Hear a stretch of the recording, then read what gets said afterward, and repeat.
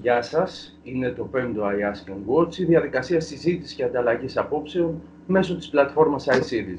Στο επίκεντρο της σημερινής συζήτησης είναι τα μέτρα που εξήγηλε η κυβέρνηση για την οικονομία, η οποία προφανώς και δοκιμάζεται από την πανδημία, δίχως κανείς να μπορεί να προβλέψει μέχρι πότε. 41.000 απολύσεις έγιναν σύμφωνα με το σύστημα Εργάνη το Μάρτιο, ενώ το δώρο Πάσχα για τους ιδιωτικούς υπαλλήλους τέθηκε υπό εξέταση έως ότου ο Πρωθυπουργός αποσαφηνίσει ότι θα δοθεί. Το πότε είναι ακόμα άγνωστο. Τις 15 ερωτήσεις των μελών του ΑΙΣΥΡΙΖΑ που αναδείχθηκαν μετά από τη σχετική ψηφοφορία θα απαντήσουν ο πρώην Υπουργός Ψηφιακής Πολιτικής, Βουλευτής και τομεάρχης Οικονομίας του ΣΥΡΙΖΑ, Νίκος Παπά. Γεια σα, κύριε Παπά. Καλημέρα, καλημέρα κύριε Προβολισιάν.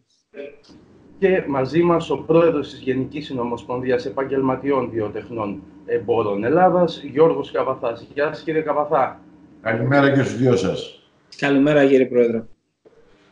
Ε, να σας πω ότι οι ερωτήσεις είναι πάρα πολύ εύστοχες, γι' αυτό λέω να ξεκινήσουμε ευθύς αμέσως. Ε, και να ξεκινήσουμε με εσά, κύριε Παπά. Ποια επιπλέον μέτρα προτείνει ο ΣΥΡΙΖΑ για την ενίσχυση των επιχειρήσεων; Ε, οι επιχειρήσεις για να μπορέσουν να επιβιώσουν και άρα να επιβιώσει και η ελληνική οικονομία χρειάζεται να αποκατασταθεί ένα αίσθημα εμπιστοσύνης. Και το αίσθημα εμπιστοσύνης, και θα το πω ευθύς εξ αρχής, δεν αποκαθίσταται εάν η κυβέρνηση λειτουργεί μόνο πυροσβεστικά. Πρέπει λοιπόν να δρομολογηθεί ένα τεράστιο πρόγραμμα και δημόσιων δαπανών και κρατικών εγγυήσεων για χορήγηση δανείων στις επιχειρήσεις ανάλογο του σχεδίου Ηρακλής για τις τράπεζες και βεβαίως να δρομολογηθούν και να επιταχυνθούν δημόσιες επενδύσεις σε υποδομές. Η συμφωνία αυτή θα πρέπει να περιέχει τον απαρέγκλητο όρο της μη απόλυσης για τους εργαζόμενους. Να γίνει δηλαδή ο απόλυτος στόχος αυτής της δημόσιας παρέμβασης η διατήρηση των θέσεων εργασίας.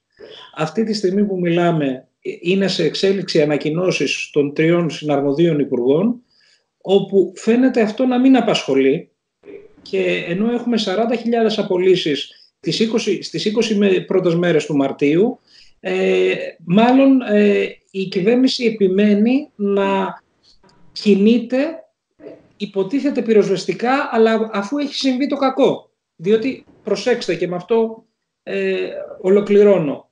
Ποια είναι η αλληλουχία της εφαρμογής της πολιτικής αυτής; Ότι θα πρέπει σε ένα κλάδο να διαπιστώνει ο κύριος Γεωργιάδης πτώση του τζίρου, να διαπιστώνει ο κύριος Βρούτσης πτώση της απασχόλησης και ο κύριος Μητσοτάκης να επιβεβαιώνει ότι όντως το κακό συνέβη.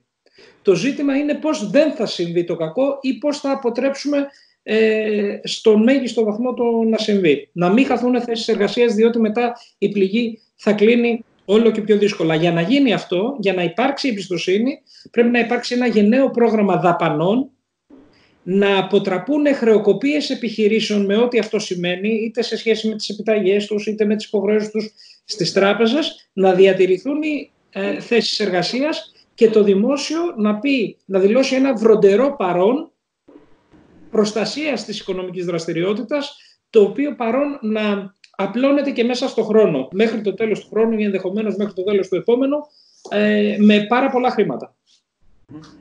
Κύριε Καβαφά, η ΓΕΣΕΒΕ θεωρεί ότι τα μέτρα που εξήγηλε η κυβέρνηση επαρκούν; Καταρχάς θα πρέπει να τονίσω ότι ζούμε σε, μια, σε ένα πρωτόγνωρο περιβάλλον. Ένα περιβάλλον που μας καλεί όλους να ανασκουμπιστούμε και να δούμε τι κάνουμε και να το κάνουμε στην κατεύθυνση μάλλον της πρόληψης και όχι της καταστολής.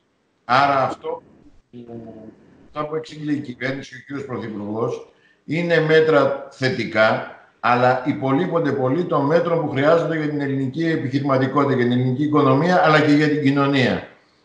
Αν δείτε ε, τις, ε, τα αιτήματα της ΓΕΣΕΒΕ και τις προτάσεις της ΓΕΣΕΒΕ για τις μικρομεσαίες, μικρές και πολύ μικρές επιχειρήσεις και τους αυτοαπασχολούμενους, δείτε ότι τα μέτρα που εξήγηλε είναι περίπου το 1 τρίτο ε, το μέτρο που ζητάει να παρθούν η συνομοσπονδία.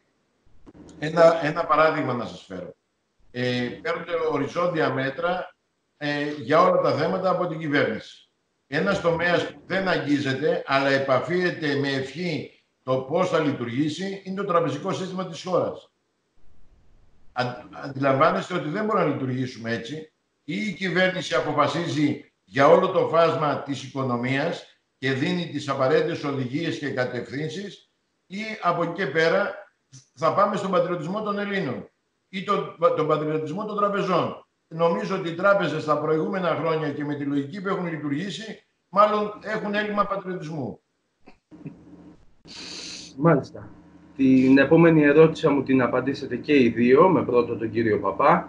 Με ποια μέτρα θα μπορέσει να ανακάμψει η οικονομία της χώρας μας μετά το τέλος της περιπέτειας του κορονοϊού; Η οικονομία για να ανακάμψει ε, χρειάζεται ένα, όπως είπα, μακρόπνο σχέδιο. Η κυβέρνησή μας είχε βάλει κάποιες συντεταγμένες μέτρων. Θεωρώ ότι ο κόσμος των επιχειρήσεων, αλλά και οι εργαζόμενοι, θα ε, είχαν τη δυνατότητα να αποκαταστήσουν ένα αίσθημα εμπιστοσύνης εάν άκουγαν τώρα, αλλά τώρα, όχι σε δύο ή σε τρεις μήνες, ε, μια κυβέρνηση να παίρνει μεγάλα οριζόντια μέτρα. Παραδείγματος χάρη, ο κόσμος των επιχειρήσεων θα ήθελε να ακούσει ότι καταργείται η εισφορά αλληλεγγύης. Εμείς είχαμε πει μέχρι τις 20.000 ευρώ. Ενδεχομένως να χρειάζεται τώρα και ε, να, το, να επανεξεταστεί αυτό το όριο. Είχαμε πει ότι πρέπει να μειωθεί η προκαταβολή φόρου για όλες τις επιχειρήσεις. Για όλες τις επιχειρήσεις. Ε, είχαμε πει ότι πρέπει να μειωθεί ο κεντρικός συντελεστής ΦΠΑ. Άρα υπάρχουν οι βάσεις και οι συντεταγμένες πολιτικών οι οποίες ε, θα οδηγούσαν στον κεντρικό και το βασικό στόχο. Και ο κεντρικός και ο βασικός στόχος είναι να διασφαλιστούν οι θέσεις εργασίας και να μην κλείσουν επιχειρήσεις. Από εκεί πρέπει να ξεκινάμε. Δεν υπάρχει χώρος για νεοφιλελεύθερες ιδεολειψίες που λένε ότι εδώ έχουμε πρόβλημα στρατηγικών κακοπληρωτών. Ουδής πλέον είναι δυνατό να εμπίπτει σε αυτή την κατηγορία και πολύ περισσότερο δεν υπάρχει χώρος και για αντιλήψεις που λένε ότι μπορεί η οικονομία μας να αυτορυθμιστεί και να επανακάμψει. Άρα λοιπόν τώρα οριζόντια γενναία ε, δραστικά μέτρα. Ο κύριος Μητσοτάκης ε, είπε είμαστε σε πόλεμο. Άρα ε, τα μέτρα ε, κατά αναλογία για την οικονομία πρέπει να είναι μέτρα πολέμου. Μέτρα πολεμικά, μέτρα πάρα πολύ ριζοσπαστικά, μέτρα γενναία. Και επειδή υπάρχει η δυνατότητα και με βάση την τελευταία απόφαση του Eurogroup και επειδή υπάρχει και το ε, μαξιλάρι, ε, θα πρέπει να μην διστάσουν να λειτουργήσουν προληπτικά και όχι προσβαστικά. Κύριε Καπαθά.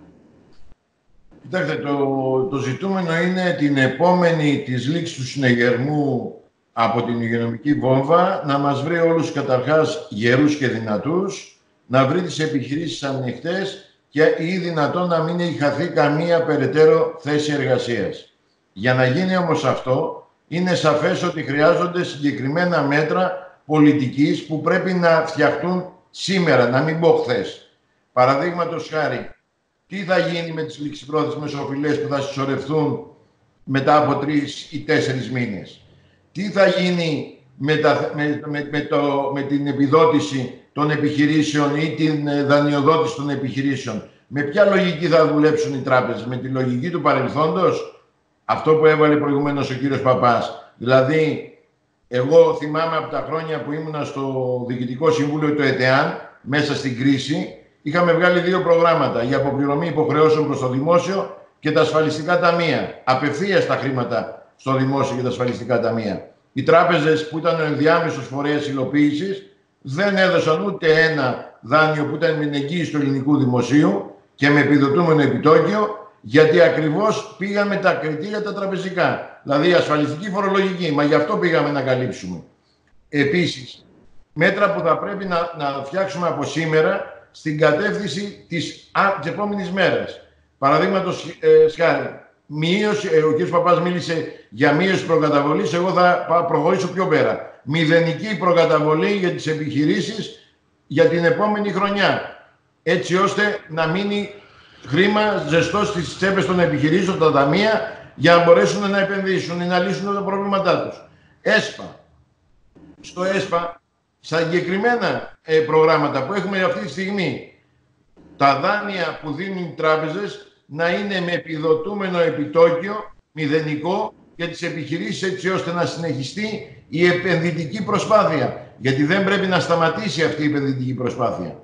Χρειαζόμαστε μια σειρά με στην κατεύθυνση πώς θα επουλώσουμε τα τραύματα και πώς θα συνεχίσουμε να δουλέψουμε και να επενδύσουμε για το επόμενο διάστημα. Ορθό. Και αυτή την ερώτηση θα μου την απαντήσετε και οι δύο, με πρώτο τον κύριο Καβαθά. Υπάρχει εσχροκέρδεια. Τι θα έπρεπε να κάνει άμεσα η κυβέρνηση και δεν το έχει κάνει ακόμη; Και να, αν θέλετε να προσθέσω και εγώ κάτι για τα είδη αυτοπροστασίας, μάσκες, αντισηπτικά και ούτω καθεξής. Όλοι μας είμαστε μάρτυρες μιας ανατίμησης στο επίπεδο κερδοσκοπίας στα προστατευτικά υλικά ε, που χρησιμοποιούνται για την μη, ε, μη διάδοση του κορονοϊού. Ε, νομίζω ότι το πρώτο πράγμα που έπρεπε να, να έχει κάνει η κυβέρνηση ήταν με αγρονομική διάταξη, μια και είμαστε σε εμπόλεμη κατάσταση, να κρατήσει ε, τις τιμές όλων αυτών των ειδών. Και νομίζω ότι έχει καθυστερήσει πολύ. Ούτε μπαίνουμε στη λογική της καταστολής. Δηλαδή αυτό που λέει η κυβέρνηση δια του Υπουργού Επενδύσεων και Ανάπτυξης του κ. Γεωργιάδη θα βγω και θα επιβάλλω πρόστιμα. Πριν βγεις να επιβάλλεις, έχεις καθορίσει τους κανόνες του παιχνιδιού και έχεις πει μέχρι αυτά τόσο πουλάγατε και τόσο θα συνεχίσετε να πουλάτε. Δεν μπορεί να υπάρχουν μαυραγορείτες την εποχή του πολέμου. Μάλιστα. Αν θέλετε, απαντήστε μου και στο εξής. Ε, ο αρμόδιος υπουργός έχει μιλήσει για διατίμηση στο κέρδος και όχι στην τιμή. Αυτό τι σημαίνει για να το καταλάβει και ο απλός πολίτης; Στο ποσοστό που κερδίζει η επιχείρηση. Δηλαδή πόσο αγοράζει και τους βάζει να βάλει ένα πλαφόν στο πόσο θα κερδίζει. Το πρόβλημα είναι να πάμε να βρούμε την πηγή. Γιατί το πρόβλημα γίνεται από την πηγή. Δεν γίνεται από τον μεταπολιτή. Δηλαδή οι φαρμακοποιοί, παραδείγματος χάρη που πουλάνε μάσκες ή τα σούπερ μάρκετς που πουλάνε μάσκες, βάζουν το κέρδος που βάζανε. Αλλά όταν έχουν αγοράσει σε πολύ υψηλότερο με υψηλότερο κόστος, είναι λογικό να εκτοξευθεί η τιμή. Άρα πάμε στην πηγή. Δηλαδή οι εταιρείες που εισάγουν αυτά τα προϊόντα ή τα παράγουν, αυτές θα πρέπει, σε αυτές πρέπει να λειτουργήσει ανώτατο πλαφόν και έπρεπε να έχει λειτουργήσει ήδη. Κύριε Παπά. Ε, εδώ πέρα πολύ φοβάμαι ότι και εγώ και ο κύριος Καβαθάς είμαστε λίγο αναρμόδιοι, διότι το θέμα έχει πάψει να είναι θέμα αγοράς πλέον. Είναι θέμα δημόσιας υγείας και με αυτή την έννοια θα έπρεπε το κράτος με κεντρική παρέμβαση να διασφαλίσει και τις πρώτες ύλες και την επάρκεια αυτών των προϊόντων καταρχήν για τις υγειονομικές μονάδες, τα νοσοκομεία, τα κέντρα υγείας κτλ. κτλ και ε, να, διατίθεται μέσω, να διατίθενται μέσω των φαρμακείων και μάλιστα με τρόπο ούτως ώστε να μην υπάρχει και κατάχρηση από τη μεριά των καταναλωτών, διότι υπάρχει και αυτή η πλευρά, έτσι δεν είναι; Δηλαδή, που ε, υπήρξε το πρόβλημα, θεωρήθηκε ότι αυτό είναι θέμα εμπορίου και είχαμε το φαινόμενο και σχροκέρδια να αναπτυχθεί, αλλά και καταναλωτές να πηγαίνουν και να παίρνουν 50 μπουκάλια αντισηπτικού, να τα φορτώνουν και να φεύγουν. Το βέλτιστο για την κοινωνία είναι να έχει ο καθένας από εμάς επαρκή ποσότητα. Και σε συνθήκες όπως αυτή ο μόνος τρόπος για να διασφαλιστεί είναι ο κεντρικός έλεγχος και των εισαγωγών, να απαγορευτούν οι εξαγωγές βεβαίως, κεντρικός έλεγχος των εισαγωγών από το σύστημα υγείας μέσω του ΙΦΕΤ και της Εθνικής Κρατικής Προμηθειών Υγεία, της Εθνικής Κρατικής Αρχής Προμηθειών Υγείας, το Υπουργείο Υγείας να τα προμηθεύεται, να ε, διοχετεύει τις πρώτες ύλες εκεί που πρέπει να παράγεται το προϊόν, να διατίθενται αυτά καταρχήν στα νοσοκομεία, εκεί που έχουμε τους υγειονομικούς οι οποίοι δίνουν τη μάχη και τώρα κοιτάω και στο Twitter ε, βλέπω μια καταγγελία από τον κύριο Παπα-Νικολάου ο οποίος είναι και εκπρόσωπος των νοσοκομιακών γιατρών ότι στο σωτηρία δεν υπάρχουν μάσκες. Αυτό αντιλαμβάνεστε ότι είναι μια οδυνηρή προοπτική, έτσι. Οι υγειονομικοί μας οι οποίοι είναι στην πρώτη γραμμή να μην έχουν τα βασικά μέσα προστασίας. Άρα τι πρέπει να γίνει, πρέπει να διασφαλιστούν οι ελάχιστες ποσότητες για τα νοσοκομεία μας και να διατίθενται οι ποσότητες από τα φαρμακεία και μάλιστα με περιορισμό και στην κατανάλωση. Όλοι έχουμε άμκα και μπορεί να βγει μια ποσότητα την οποία δικαιούμαστε από τα, αυτά τα βασικά είδη. Κύριε Παπά, θα απαντήσετε εσείς και το επόμενο ερώτημα. Τι διαφορετικά μέτρα θα έπαιρνε μια κυβέρνηση με κορμό το ΣΥΡΙΖΑ για την υπεράσπιση των θέσεων εργασίας και την οικονομική στήριξη των εργαζομένων; Ε, Κύριε Προβολησιάνα, αυτές τις στιγμές που ζούμε καμία λύση δεν είναι έξω από τις ε, πιθανότητες εφαρμογής. Στην Ισπανία ήδη έχει εφαρμοστεί η απαγόρευση των απολύσεων. Πρέπει η κυβέρνηση να καταλάβει ότι αυτός είναι ο βασικός ε, στόχος μιας οικονομικής πολιτικής και μιας δημόσιας παρέμβασης. Να ζήσουν επιχειρήσεις, να κρατηθούν οι θέσεις εργασίας. Δεν γίνεται αλλιώς. Θα ξανανοίξουμε πληγές ανάλογες με αυτές των μνημονίων, με συγχωρείτε, και τα πράγματα θα είναι πάρα πολύ δύσκολα. Άρα, ε, στον αντίποδα της λογικής που λέει επιδοτώ την αναστολή των σχέσεων εργασίας, της ε, εργασιακής σύμβασης η οποία τρέχει, τι σημαίνει αυτό; Αυτό είναι σαν να επιδοτείς απολύσεις ή να επιτρέπεις, δυστυχώς με βάση ε, νόμο που υπάρχει από το 2010, την εκπεριτροπής εργασία. Προσέξτε τώρα τι πάει να γίνει εδώ. είναι έτοιμη η κυβέρνηση πραγματικά να διαχειριστεί ε, κάποιες εκατοντάδες χιλιάδες ανέργους; Άρα λοιπόν το μείζον αυτή τη στιγμή είναι πολλά χρήματα να πέσουν, προστασία απόλυτη των θέσεων εργασίας και των επιχειρήσεων. Κύριε Καβαφά, τι προβλέπετε για τους ελεύθερους επαγγελματίες συγγνώμη, κλάδων που ναι μεν δεν έχουν μπει σε υποχρεωτική πάυση της εργασίας τους, αλλά η φύση της δουλειάς τους είναι τέτοια που αναγκαστικά μένουν χωρίς εργασία αφού δεν μπορούν να έρθουν σε επαφή με κόσμο.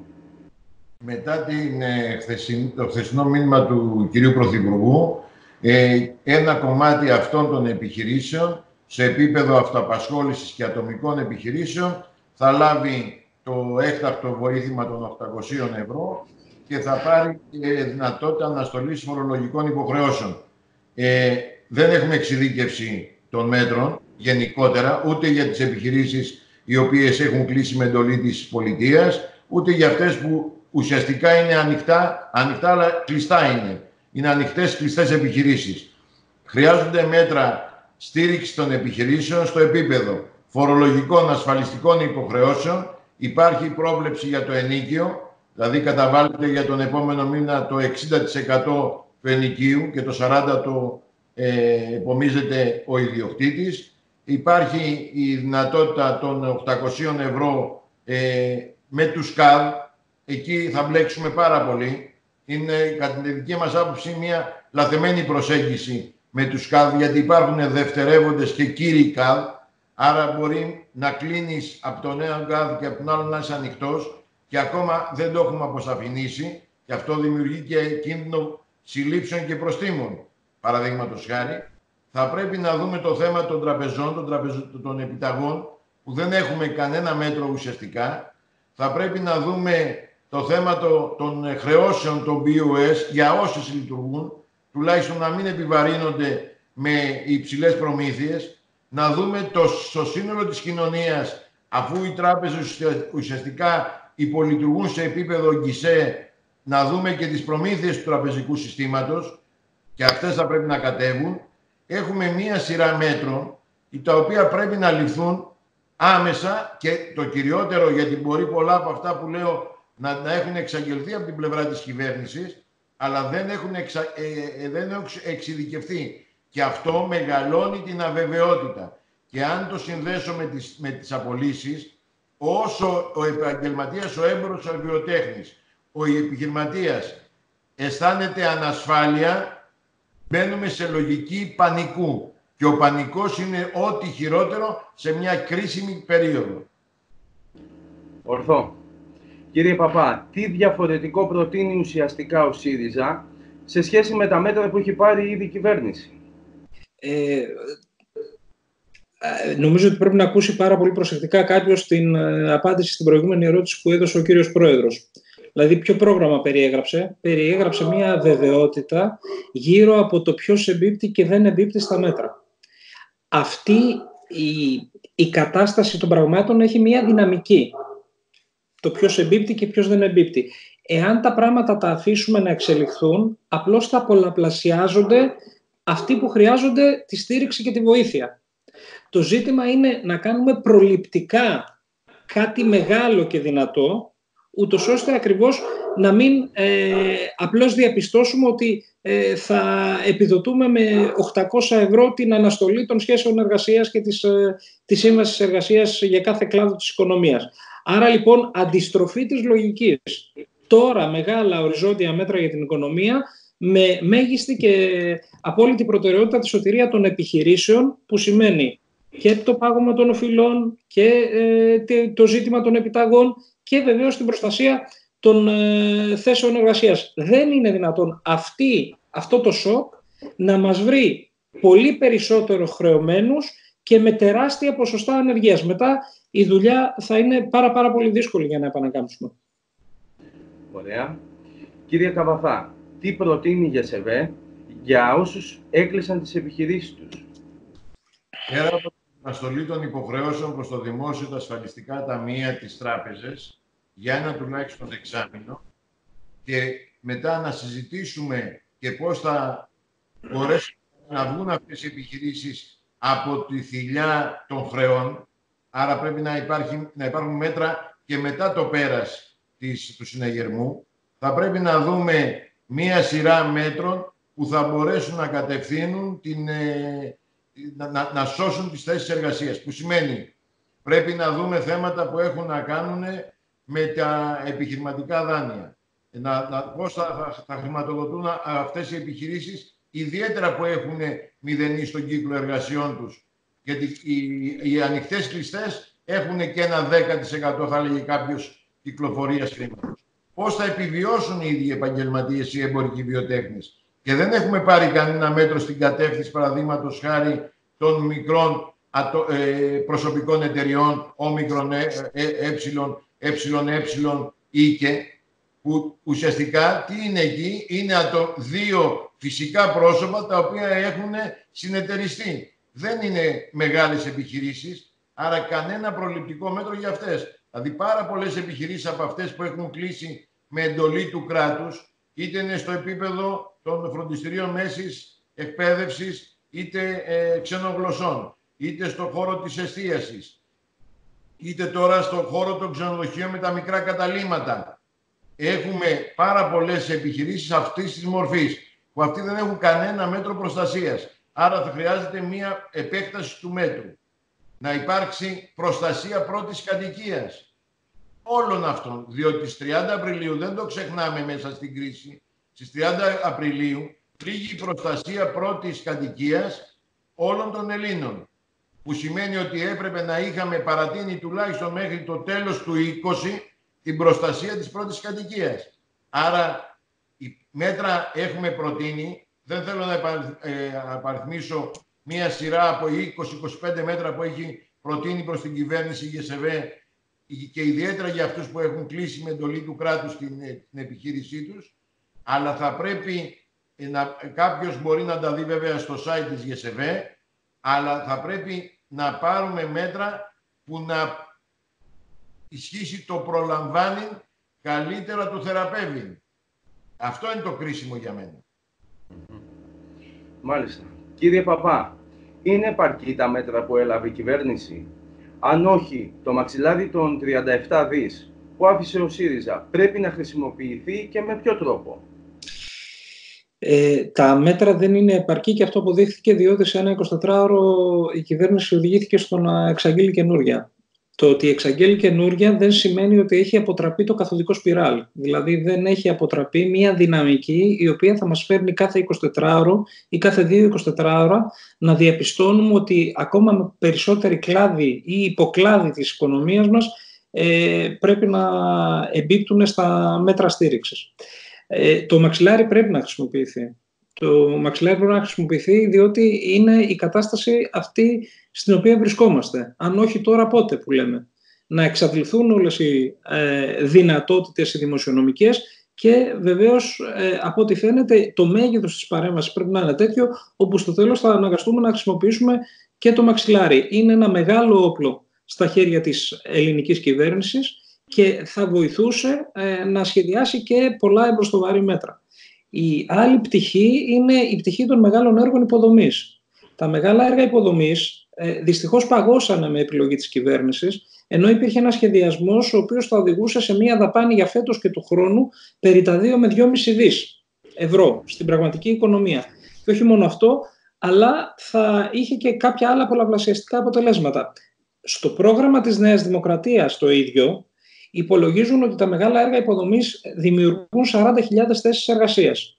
Θα ήταν ε, πάρα πολύ κρίσιμο αυτή τη στιγμή ως ένα μέτρο ανάσχεσης των αρνητικών συνεπειών να μπουν μπροστά αυτά τα έργα, να δρομολογηθούν και άλλα, για παράδειγμα να αναλάβουν οι Δήμοι ενδεχομένως με έκτακτη χρηματοδότηση από τον ε, Φιλόδημο ή από ένα έκτακτο ε, πρόγραμμα να αναπτύξουν τοπικές υποδομές, πράγμα που θα διαμορφώσει απασχόληση, θα αναβαθμίσει την ε, ποιότητα των υπηρεσιών προς τους πολίτες και με το που θα περάσει η μπόρα θα μας βρει σε ένα καλύτερο σημείο σε σχέση με τις υποδομές από αυτό που είμαστε σήμερα. Ταυτόχρονα, κανείς δεν πρέπει να υποτιμάται και την ανάγκη άμεσων μέτρων ελάφρυνσης των οικοκυριών. Δηλαδή, ε, τα είδη βασικής ανάγκης πρέπει να πάνε όλα σε χαμηλούς ε, συντελεστές ΦΠΑ ή να υπάρξει ακόμα και μια οριζόντια μείωση.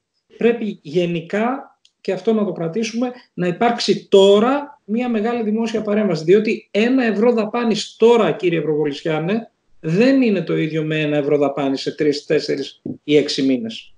Σε τρεις, τέσσερις ή έξι μήνες ενδεχομένως να έχει χαμηλότερη αξία ως προς την εμπιστοσύνη που μπορεί να δημιουργήσει και ως προς τις δυνατότητες αναστροφής όποιων αρνητικών επιπτώσεων. Άρα τώρα να γίνει μεγάλη δημόσια παρέμβαση, αποφυγή χρεοκοπίας επιχειρήσεων, προστασία των θέσεων εργασίας και όχι επιδότηση συγκεκαλυμμένων απολύσεων. Κατανοητό. Κύριε Καβαθά, θα μπορούσε να λυθεί το πρόβλημα έλλειψης σε ιατρικές μάσκες μέσω σχετικής ενίσχυσης ελληνικών βιοτεχνιών; Πρέπει να ξέρουμε όλοι ότι αυτό που μας δημιουργεί τεράστιο πρόβλημα γενικότερα και τώρα αναδεικνύεται είναι ότι η χώρα δεν παράγει. Άρα, δηλαδή, ο τομέας μεταποίησης, είτε αυτό αναφέρεται στη βιοτεχνία μας, είτε στη βιοτεχνία μας, ε, υπολείπεται πολύ των αναγκών της χώρας. Ε, εξ όσο γνωρίζω, δεν, το, το λέω με κάθε επιφύλαξη, ε, στη χώρα δεν ε, παράγουμε μάσκες. Ε, θα μπορούσαμε όμως άμεσα να κινητοποιηθούμε στην κατεύθυνση κάποιες μονάδες να, ε, με μια τεχνολογική παρέμβαση ή τεχνική αν θέλετε να μπορέσουν να φτιάχνουν μάσκες έτσι ώστε να είμαστε αυτάρκεις τουλάχιστον στα βασικά είδη προστασίας τόσο του, ε, του ιατρικού και νοσηλευτικού προσωπικού αλλά και των πολιτών γενικότερα.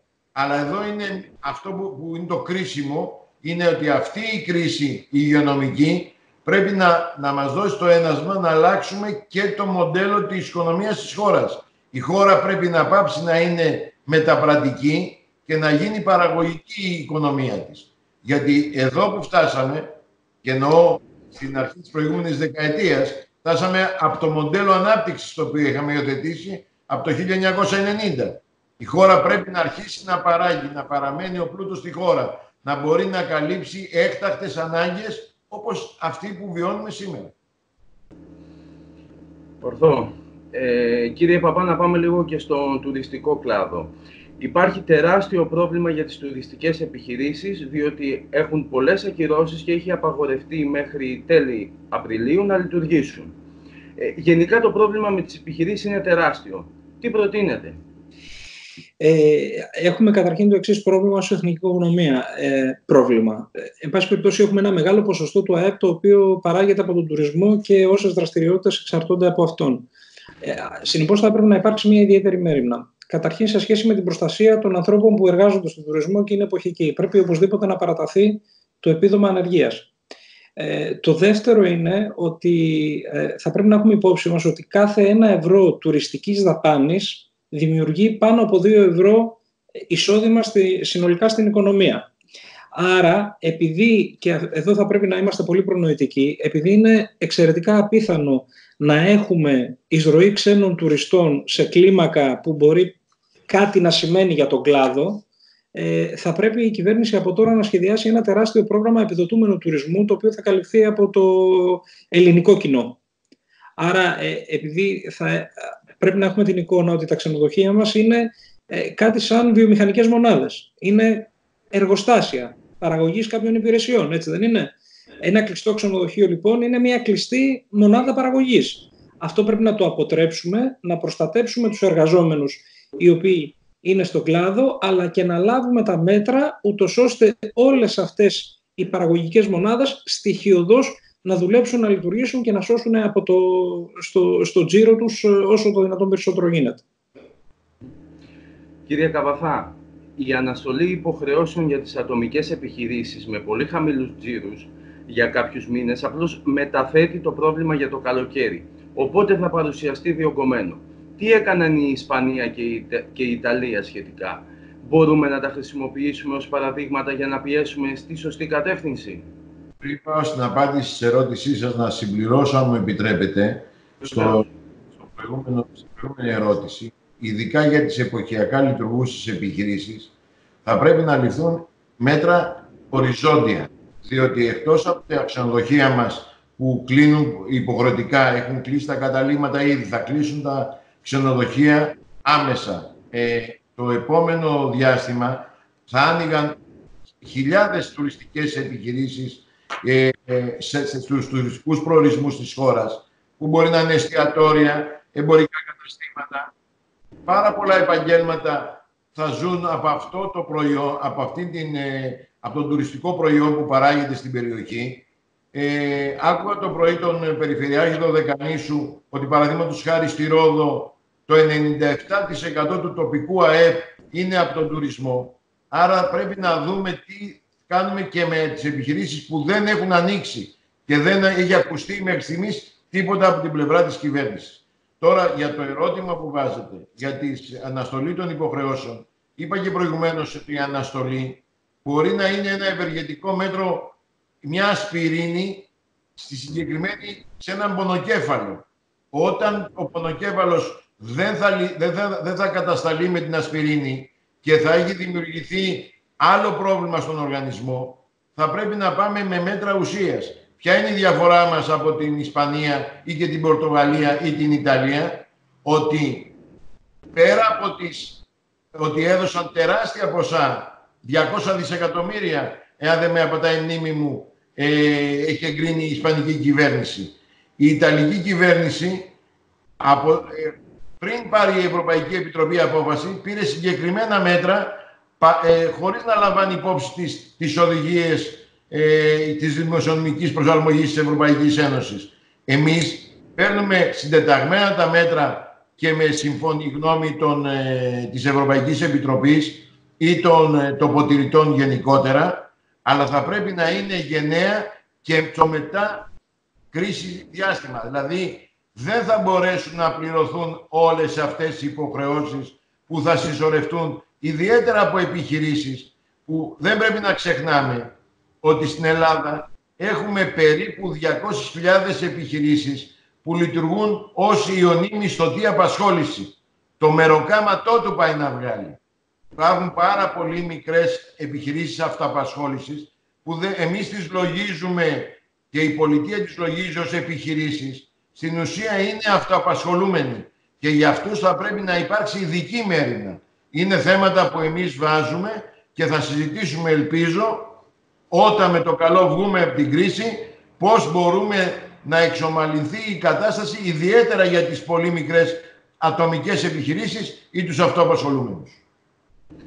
Μάλιστα. Κύριε Παπά, το ποσό των 800 ευρώ για 1,5 μήνα που ανακοίνωσε η κυβέρνηση είναι εξαιρετικά χαμηλό καθώς είναι κάτω από τον κατώτατο μισθό και σαφώς δεν επαρκεί για την κάλυψη των εργαζομένων. Τι προτείνετε εσείς; Ε, με κίνδυνο να γίνω κουραστικός, ε, θα επαναλάβω ότι η μέγιστη προτεραιότητα είναι η προστασία των θέσεων εργασίας και των εισοδημάτων, διότι είναι τα εισοδήματα αυτού του κόσμου που κρατάνε την οικονομία μας ζωντανή. Ε, εδώ πέρα πάμε σε μια ε, κατάσταση διεθνή, όπου θα έχουμε μια ραγδαία μείωση του διεθνούς εμπορίου και των μετακινήσεων. Συνεπώς θα πρέπει να έχουμε στο νου μας ότι η ελληνική οικονομία θα στηριχτεί στην εγχώρια καταναλωτική δαπάνη, στην εγχώρια ζήτηση και στις δημόσιες επενδύσεις. Εκεί λοιπόν πρέπει να πέσει το βάρος. Εάν τα μέτρα που λαμβάνονται αφήνουν την εγχώρια ζήτηση να διακυμαίνεται με τρόπο απρόβλεπτο και αρνητικό.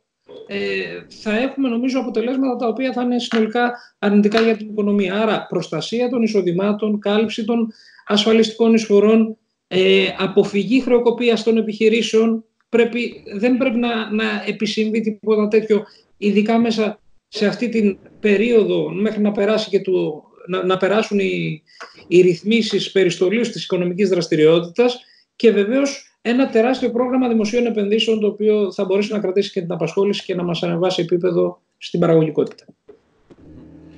Κύριε Καβαφά, τι ισχύει για τα επαγγελματικά ενίκαια, τι υποχρέωση έχει ο ενοικιαστής και τι ο ιδιοκτήτης; Ο, ο ενοικιαστής επομίζεται την δαπά, το 60% του ενοικίου που έχει συμφωνήσει με τον ιδιοκτήτη.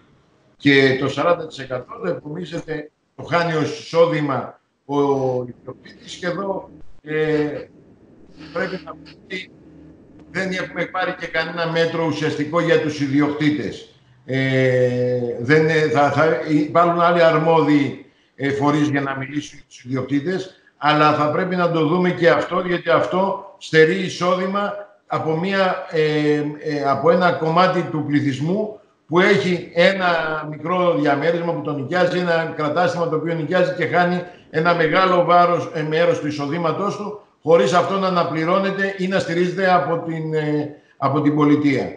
Ε, το πρόβλημα όμως είναι ότι θα πρέπει κατά τη δική μας άποψη να δοθεί με, με νομοθετική παρέμβαση, με πράξη νομοθετικού περιεχομένου, αναστολή εξώσεων ε, για λόγους αδυναμίας να πληρωθεί ακόμα και αυτό το 60% γιατί θα έχουμε και τέτοιες περιπτώσεις διότι ζούμε σε μια έκτακτη κατάσταση και βέβαια δεν άκουσα τίποτα για τα κίνητα που εκμισθώνει το ελληνικό δημόσιο και οι οργανισμοί τοπικής αυτοδιοίκησης.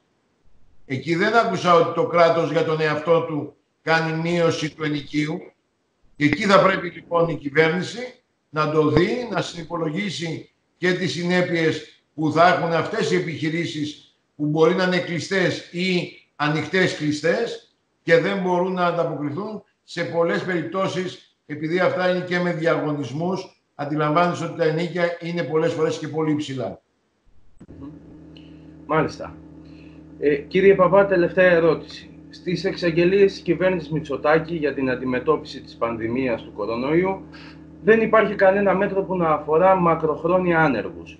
Ο ΣΥΡΙΖΑ ως αντιπολίτευση έχει να προτείνει κάποιο μέτρο για την υπεράσπιση των μακροχρόνια ανέργων που η οικονομική τους θέση εξαιτίας της δεδομένης κατάστασης αναμένεται να επιδεινωθεί.